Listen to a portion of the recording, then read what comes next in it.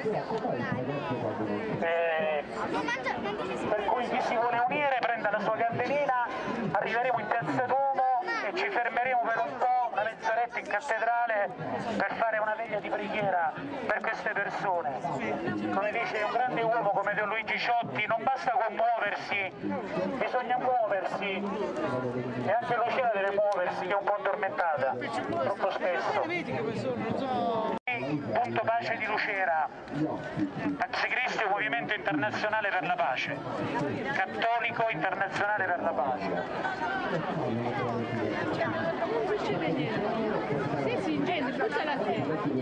Facendo una fiaccolata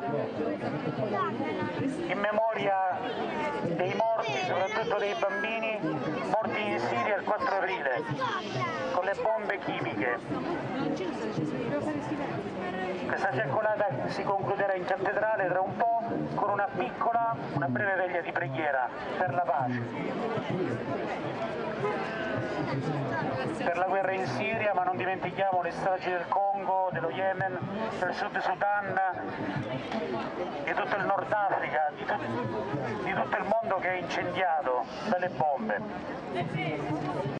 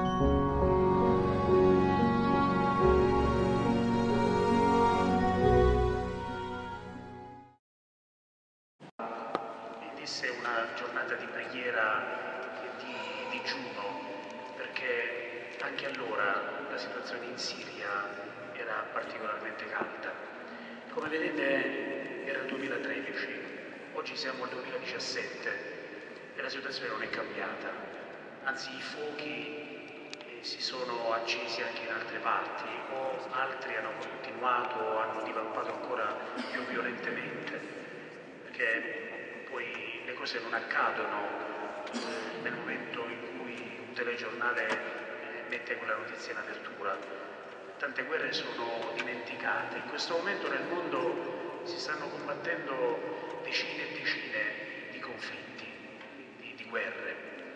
E noi dobbiamo renderci conto di questo. Dobbiamo renderci conto che le guerre si combattono perché c'è interesse combatterle. Ormai nessuno più, neanche un bambino, crede al fatto che le guerre si combattono per risolvere problemi, ma le guerre i problemi li creano e ci fanno cadere nella spirale di violenza ancora maggiore. E allora noi siamo qui, piccole luci in questa notte in questa notte della storia, che ieri c'è stato un atto terroristico a Stoccolma, dopo che ce ne sono stati altri nei mesi scorsi. Allora dicevo, noi vogliamo essere luce, luce nella notte della rassegnazione, luce nella notte, nel buio eh, della, sì, di chi, no, di chi si mette l'anima in pace e pensa che non si possa fare nulla. Accogliamo il Vescovo che viene a pregare con noi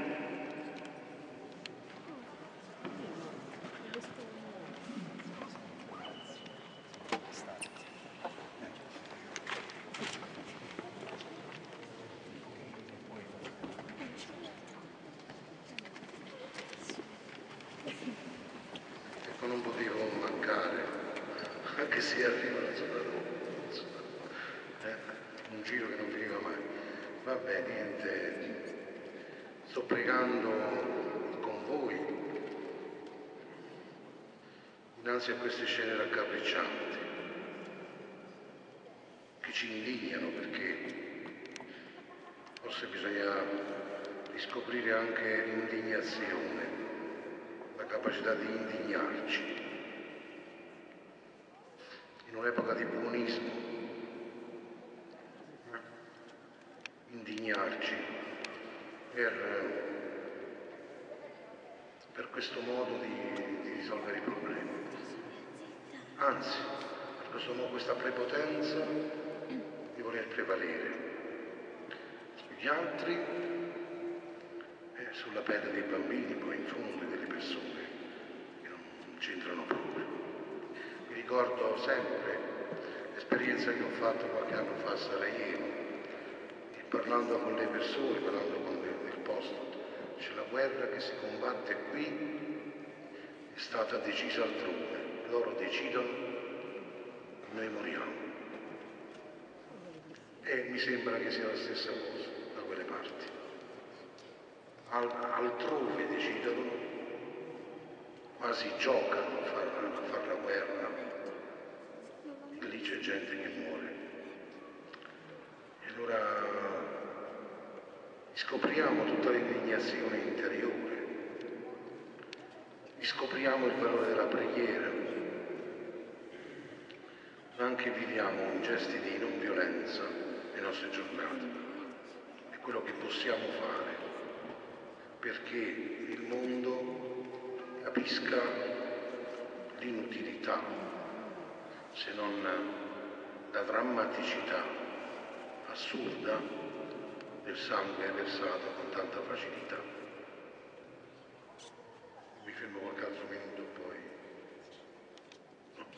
mi preparo per domani,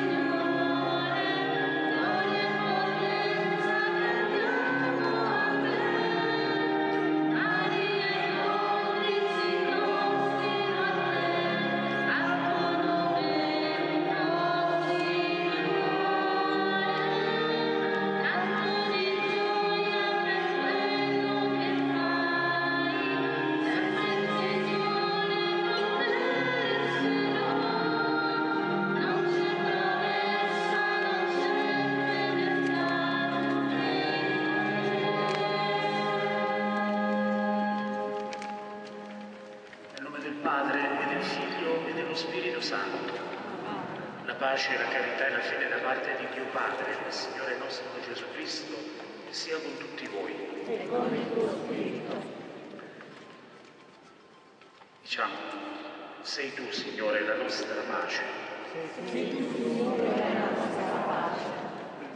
Ascolterò che cosa dice Dio, il Signore. Egli annunzia la pace per il suo popolo, per i suoi fedeli, per chi ritorna a Lui con tutto il cuore. La tua salvezza è vicina a chi lo teme e la sua gloria abiterà la nostra terra.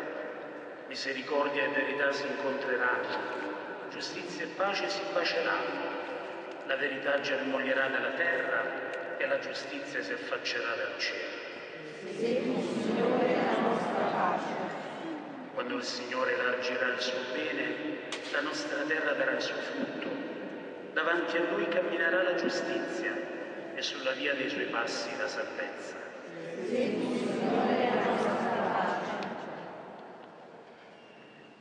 Preghiamo con questa preghiera famosa, bella, importante di Papa Paolo VI per la pace. Facciamo eventualmente due cori, una parte e quest'altra. Cominciamo questa parte. Signore, abbiamo ancora le mani dalle ultime guerre mondiali, così che ancora i popoli hanno potuto stringerle fraternamente fra loro. Signore, noi siamo tanto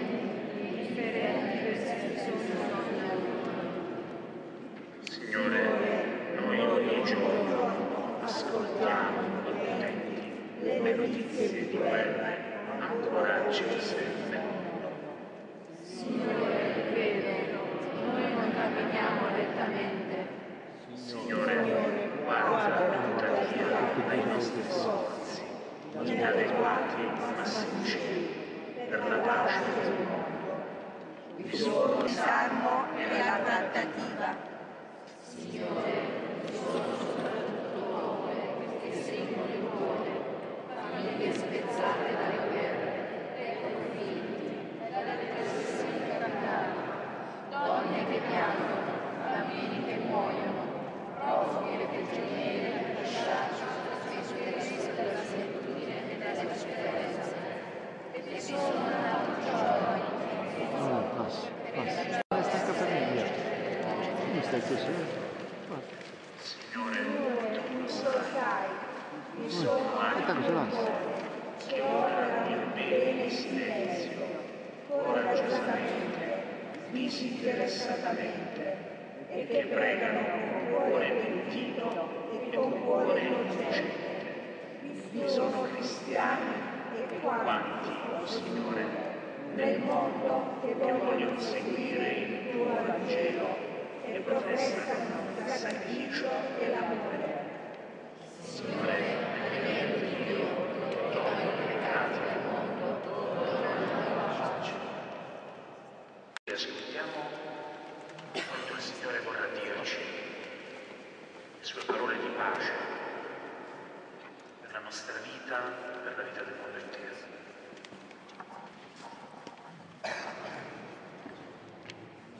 Stacca e fa dormire. Aspiriamo per il tuo Stacca. del profeta Isaia. Ma infine in noi sarà infuso lo spirito dall'alto. Allora il deserto diventerà un giardino.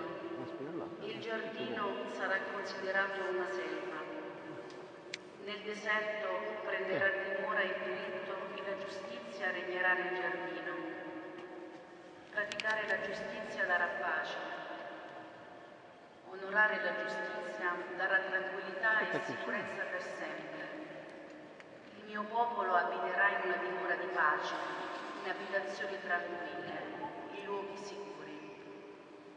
Parola di Dio. Rendiamo grazie a Dio. Ripetiamo insieme. Mostraci, Signore, la tua misericordia. Sei stato buono, Signore, con la tua terra. Hai ristabilito la sorte di Giacobbe. Hai perdonato la colpa del tuo popolo. Hai coperto ogni loro peccato. Mostraci, Signore, la tua misericordia. Hai posto fine a tutta la tua collera. Ti sei distolto dalla tua ira ardente. Ritorna a noi, Dio nostra salvezza, e placa il tuo sdegno verso di noi. Mostraci, Signore, la tua misericordia. Forse per sempre sarai adirato con noi. Di generazione in generazione riverserai la tua ira. Non tornerai tu a ridarci la vita, perché in te gioisca il tuo popolo. Mostraci, Signore, la tua misericordia. Lettera di San Paolo Apostolo ai Colossesi. Fratelli, scelti da Dio, santi e amati, rivestitevi dunque di sentimenti di tenerezza, di bontà, di umiltà, di mansuetudine, di magnanimità.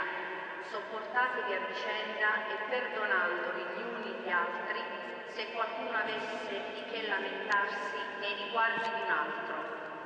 Come il Signore vi ha perdonato, così fate anche voi.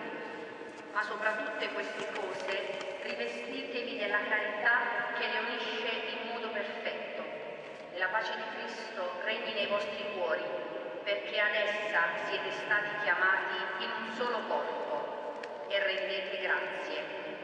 Parola di Dio. Rendiamo grazie a Dio.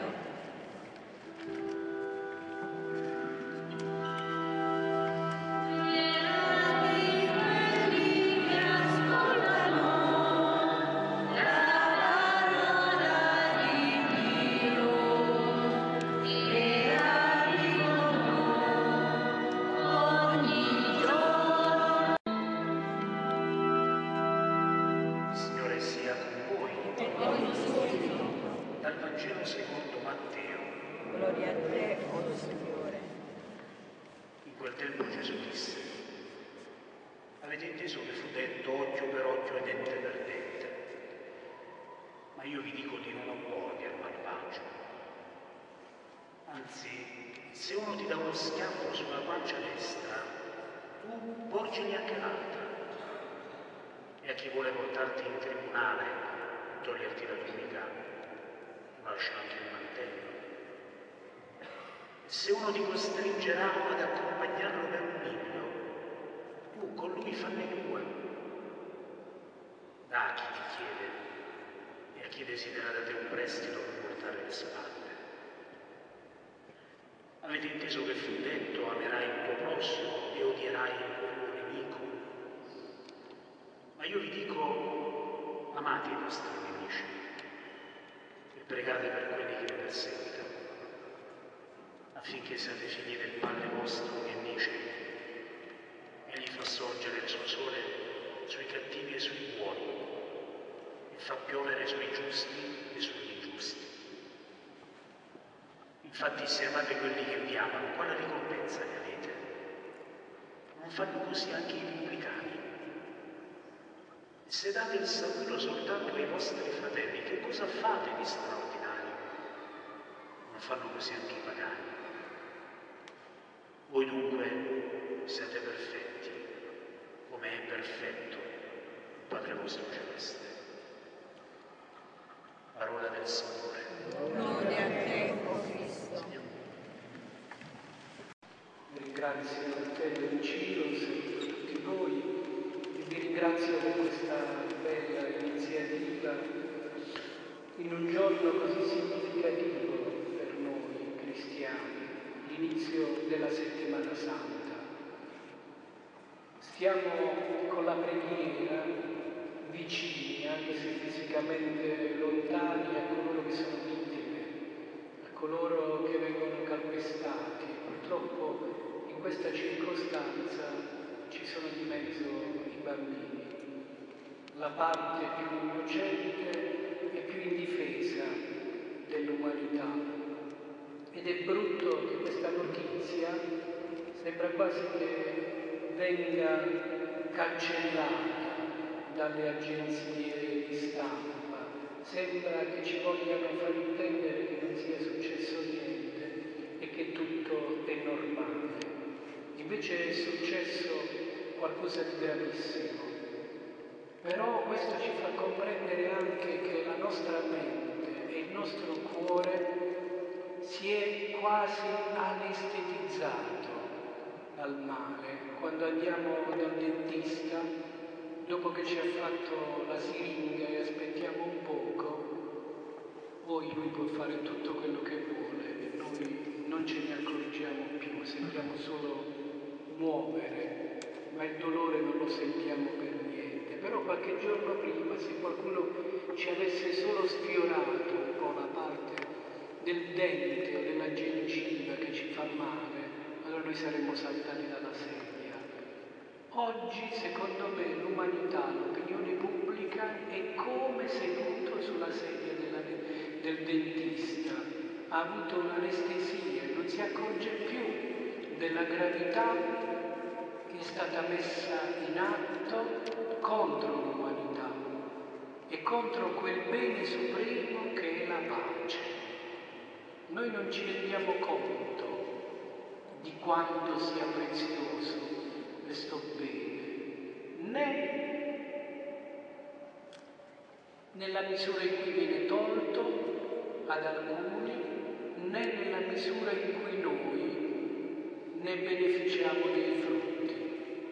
La pace è diventata soltanto per noi un'idea, un'idea bella, ma che non è legata a scelte concrete tra di noi. L'Apostolo Paolo ai Colossesi, nella breve seconda lettura che è stata proclamata, dice rivestitevi dunque di sentimenti, di tenerezza. Questa è una parola che piace molto al Papa. Lui parla di rivoluzione della tenerezza. Rivoluzione della tenerezza significa diventare ovunque e comunque operatori di pace, denunciando anche il male laddove c'è, impegnandosi anche a rimuovere le cause, ma soprattutto in quanto credenti a credere nella forza della preghiera unita a tutte le altre cose. Le altre cose devono esserci, la denuncia, la protesta, l'impegno politico, diplomatico, tutto, ma unito alla preghiera diventa una potenza straordinaria. E allora noi vogliamo credere che questa sera poche fiammelle in realtà possono essere il segno un grande fuoco, il fuoco dello Spirito Santo che dobbiamo invocare sulla mente di coloro che fanno scelte che sono assurde, scelte spaventose. Un'altra affermazione del Papa è che non è stata dichiarata, ma è in atto la terza guerra mondiale. E non ce ne accorgiamo proprio per questa anestesia delle coscienze che è stata fatta abilmente con ottimi frutti, però noi possiamo uscire da questo torpore mettendoci il filtro della parola di Dio, guardando le realtà con la luce della parola di Dio. Allora usciamo da queste trappole, riconosciamo la verità e possiamo anche condannare il male. Affidiamo questo nostro stare qui alla Vergine Santa perché ci aiuti ad essere veri discepoli di Gesù che ci ha chiesto di imparare da Lui, imparare da Lui ad essere strumento di pace, ad essere capaci di creare contesti nuovi dove la verità e la difesa della persona siano sempre propugnati, realizzati ed attuati. Sia lodato Gesù Cristo. Momento di fare un esame di coscienza. È facile per noi pensare che siano sempre gli altri a muoversi, a fare qualcosa. In fondo la pace comincia nel cuore e la pace comincia a gesti concreti. Ecco, chiediamoci quanto noi siamo costruttori di pace, che possiamo essere chiamati figli di Dio, come, come Gesù ci dice nelle lettere.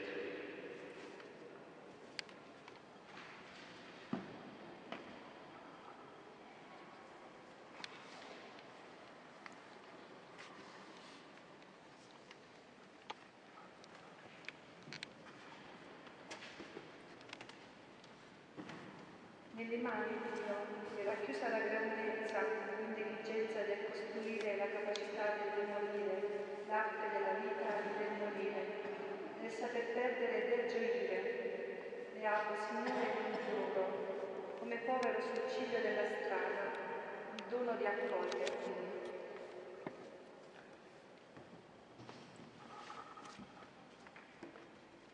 Tu sei pace, doni la forza di credere al di là di ogni speranza, di operare instancabilmente, di sfo- trasformare povertà in letizia, di lenire e sanare.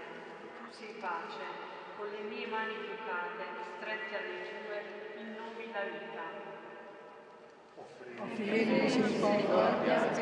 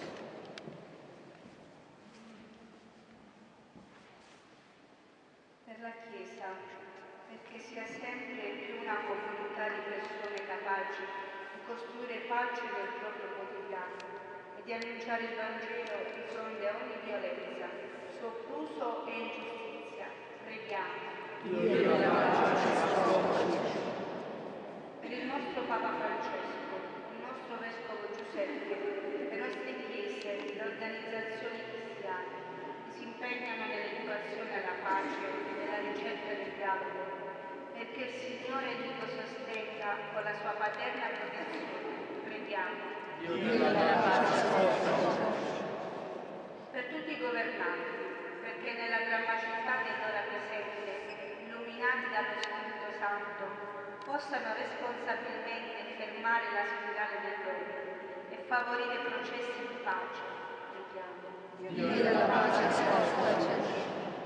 Per i popoli che subiscono la guerra, in particolare il popolo siriano, per i profughi privati della casa e della dignità, per tutte le vittime di attentati nel mondo, per tutti coloro che vivono e subiscono ogni forma di violenza fratricida, perché il Signore doni loro la serenità del cuore. Preghiamo.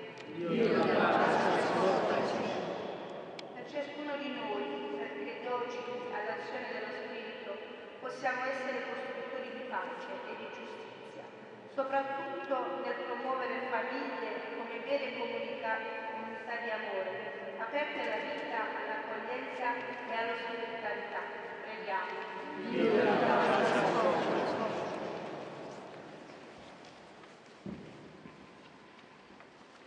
Accogliamo ogni nostra invocazione e ogni nostro desiderio, presentando al Signore, presentiamo al Signore ogni molitudine e sofferenza, con le parole che Gesù ci ha insegnato insieme cantiamo.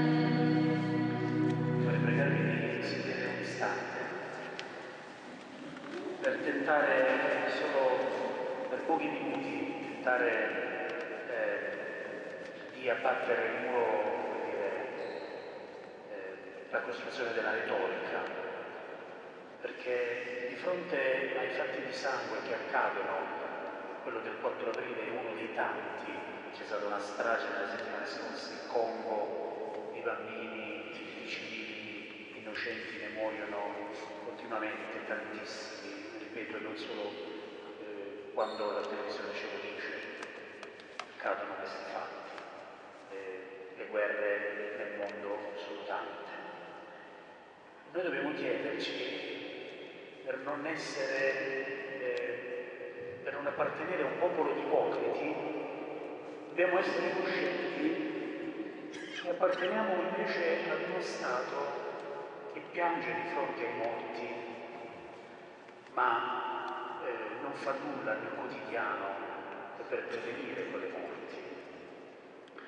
Voglio dirvi che secondo i dati contenuti nel primo rapporto annuale sulle spese militari italiane, presentato alla Camera dei Deputati lo scorso 15 febbraio, ultimamente, l'Italia spende ogni anno per le sue forze armate oltre 23 miliardi di euro, non di lire di euro, sono 64 milioni di euro al giorno, di cui oltre 5 miliardi di euro, 15 milioni al giorno, in armamenti.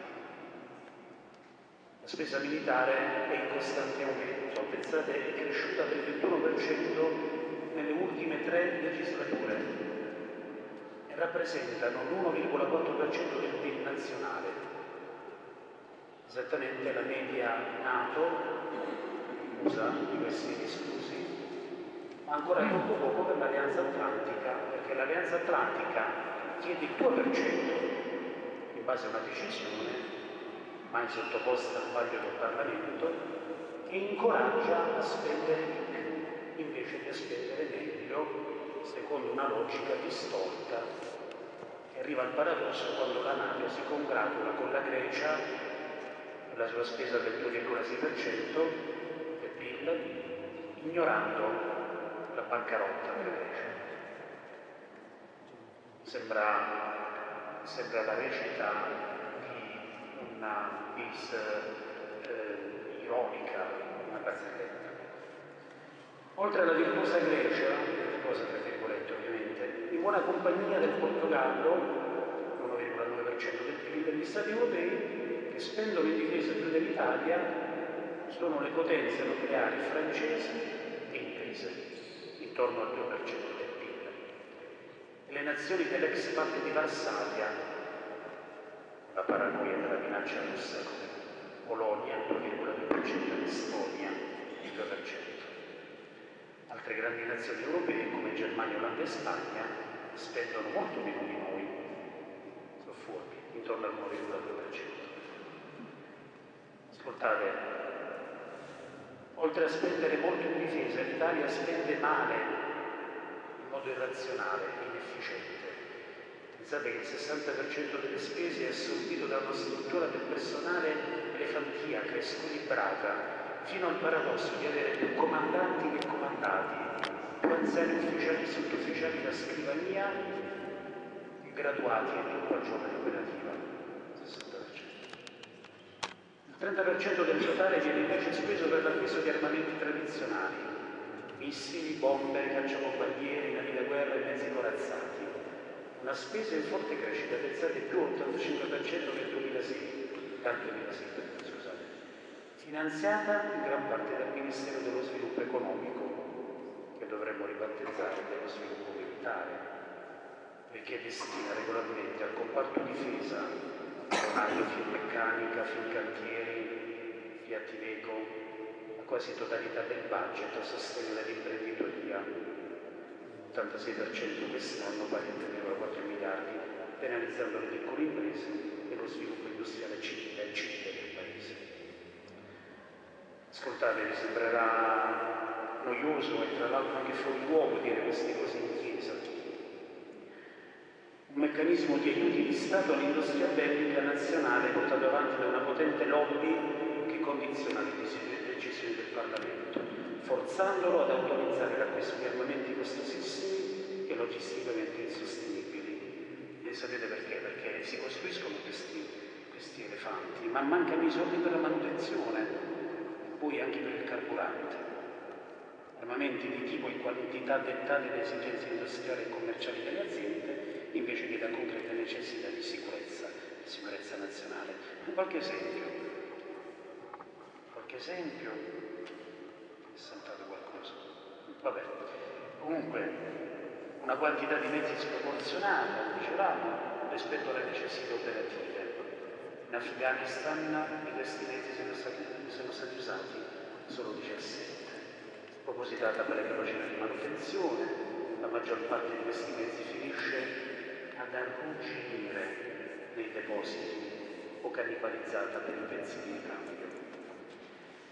Oppure pensate alle nuove navi da guerra ordinate dalla Marina, spacciate al Parlamento per navi dual use per il soccorso umanitario. La seconda portaerei, ricordiamo che la prima, la Cavour, non viene quasi mai usata perché non ci sono i soldi per il gasolio, e altre sette fregate lanciamissili porteranno la flotta italiana a superare la potenza navale francese e anche eguagliare quella inglese, che sono potenze nucleari. Vogliamo parlare anche dei famosi F-35. L'Italia, contrariamente ad altri paesi NATO europei come la Germania, continua a comprare nonostante le critiche degli esperti che li giudicano aerei inutili per le esigenze di difesa nazionale e dannose per l'industria italiana. Va bene, bisognerebbe forse occupare, occuparsi di altro, visto che l'Italia è impreparata a difendersi da minacce concrete, terrorismo, cyber war, le guerre si fanno così adesso. Prevenire attacchi terroristici serve intelligence sul territorio e online e non carri armati, cacciabombardieri portaerei. Per difendersi da attacchi informatici servono investimenti massicci che non ci sono, non ci sono. Insomma, una presa di rifordelli. piangiamo di giorno, facciamo finta di arrabbiarci di giorno, ci lasciamo andare in abbracciamenti adulterini con l'industria bellica. Sarebbe il caso di informarci anche se le nostre banche finanziano gli armamenti, magari fare anche un'obiezione di coscienza, chiudendo i nostri conti, sarebbe interessante. Eh, qualcosa si è fatto negli anni passati, qualche banca ha potuto rivedere i suoi modi di fare. Per concludere, prima di recitare insieme quella preghiera, il Vescovo prima ha detto che dobbiamo conservare il gusto di indignarci. Io ieri l'ho detto a un centinaio o forse 200 ragazzi delle scuole medie, parlando di legalità, di bullismo, lotta al bullismo e lotta alla mafia. Continuare ad indignarci, indignarci perché l'indignazione diventi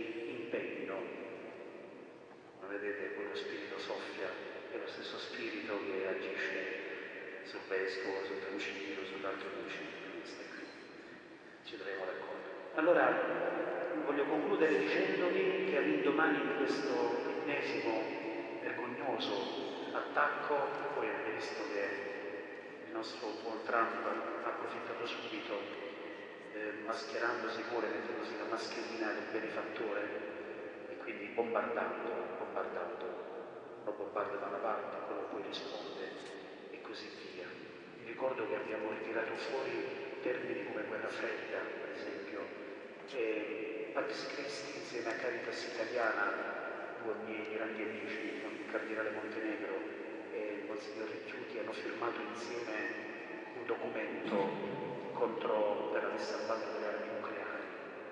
Pensavamo che le armi nucleari fossero qualcosa relegata alla crisi dei missili di Cuba e quant'altro, invece oggi ancora stiamo qui a dire che dobbiamo impegnarci per fare pressione, poi questo documento lo stampiamo e magari cominciamo anche a raccogliere delle firme.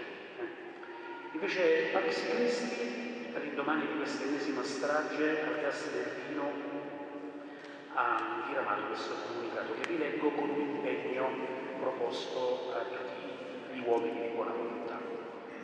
Dice così Pax Christi Italia, ancora vittime, ancora orrore, morte e cancellazione di vite umane tra cui molti bambini a Idlib in Siria, mentre istituzioni internazionali e governi continuano in sterili negoziati di espressioni inutili e rimpalli di responsabilità. Siamo ancora una volta davanti ad un crimine che Papa Francesco ha definito inaccettabile, perché ogni guerra è crimine, follia, suicidio dell'umanità, avventura senza ritorno. Stiamo e restiamo dalla parte delle vittime non solo per aiutarle a sopravvivere alla guerra, ma anche a costruire un futuro durevole di pace basato sulla cultura della non violenza. Solo grazie ai giovani la non violenza potrà finalmente tornare a sbocciare nella sofferente nazione siriana come un fiore tra le macerie, come evidenziato nel dossier di Caritas sulla Siria presentato lo scorso marzo. Così come stiamo e restiamo dalla parte delle vittime in Congo, in Sud Sudan, in Yemen dove i bombardamenti avvengono anche con armi italiane, con armi italiane. Ai Libi in Siria si è parlato di uso di armi chimiche, di gas. Sappiamo che in guerra la verità è la prima vittima e chiediamo a gran voce che sia appurata. Nel contempo chiediamo un deciso impegno a porre fine a questa follia, evitando il rischio reale dell'assuefazione e l'assegnazione di fronte ad una terza guerra mondiale, come ci ha ricordato Don Ciro, combattuta a pezzi, come dice Papa Francesco. Invitiamo alla preghiera per le vittime, stasera l'abbiamo fatto, ma anche all'indignazione contro la guerra di armi, dobbiamo farlo comprese quelle nucleari di cui si parla all'ONU questi mesi e su cui, come vi ricordavo, Pax Christi e Caritas Italiana sono già intervenute. Facciamo nostre le parole di Papa Francesco a Puglia il 13 settembre 2014. Diceva, anche oggi le vittime sono tante, com'è possibile questo? È possibile perché anche oggi dietro le quinte, dice Papa Francesco, ci sono interessi, piani geopolitici, abilità di denaro e di potere, c'è l'industria delle armi che sembrano essere tanto importante. sembra essere tanto importante. Questi pianificatori del terrore, questi organizzatori dello scontro, come pure gli imprenditori delle armi, hanno scritto nel cuore a me che importa. Se virgolette, così Papa Francesco. Sono anni e anni di Pax Christi, tutte le associazioni, i movimenti per la pace dicono queste cose ma ricordo Don Tonino, l'amico Don Tonino, il padre Don Tonino Bello, che, che, veniva chiamato solitamente a Roma in Vaticano per dirgli di farsi i fatti suoi, di fare il vescovo, di occuparsi delle carriere, delle cattedrali. Per evitare che anche nel nostro cuore ci sia scritto, sono cambiati i tempi, il vento è cambiato, per evitare che anche nel nostro cuore ci sia scritto a me che importa raccogliendo le ripetute sollecitazioni del Santo Padre Francesco, proponiamo, dice Pax Christi, le Caritas Diocesane, ai gruppi di Pax Christi e a quanti vogliono aderire, una giornata di digiuno che accompagni la preghiera per la Siria mercoledì 12 aprile, alla vigilia del Triduo Pasquale, per non dimenticare, per vivere la passione e la croce di tanti innocenti nel mistero della passione di Cristo, della luce della speranza della Pasqua. Sapete che i digiuni eh, servono, se sono legati alla carità. Nella prima parte di questa nostra preghiera c'è anche Pietro Pisologo che ne parla, che è anche un documento della CENI di un po' di anni fa che dice il digiuno a chi serve, ecco, legato alla carità, per cui se risparmiamo qualcosa sul digiuno possiamo ricordarci di questi bambini che bevono l'acqua delle pozzanghere quando non sono trucidati. Ci mettiamo in piedi. Diciamo insieme questa preghiera, poi chiederemo al Signore di benedirci.